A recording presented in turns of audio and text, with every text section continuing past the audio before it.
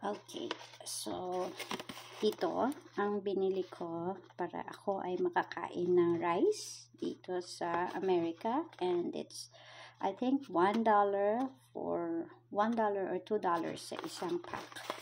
Yeah? And dalawa na siya, dalawang piraso na siya. It's one cup of rice. So, ganito lang siya.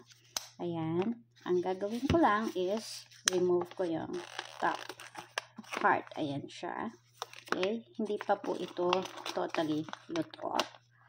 Um, one minute rice ang tawag nila dito. So, uh, ayan siya. Tatanggalin ko yung kanyang lid.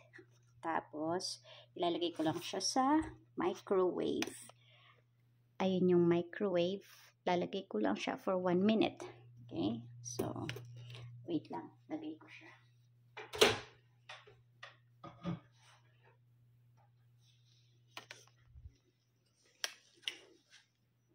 Okay. So, lagay lang natin siya dyan. Press 1 minute. 0, 0. Okay. So, that's 1 minute and start. So, yan. Iinitin na niya. Parang completely lulutuin na niya. Parang luto na siya. Pre-cook na siya, I think. So, parang iinitin mo lang siya for 1 minute no? It has no preservatives.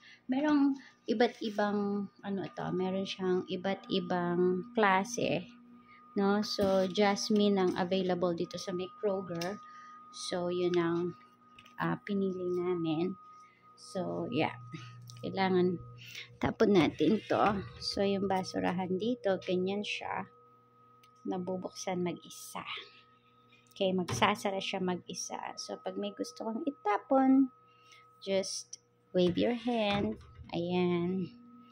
O, tapon mo yung gusto mong itapon. And then, yan, sasara siya mag-isa. Battery operated, I think. Ayan, okay na siya.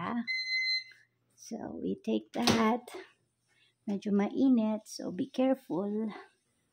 Ayan, mainit na siya. No?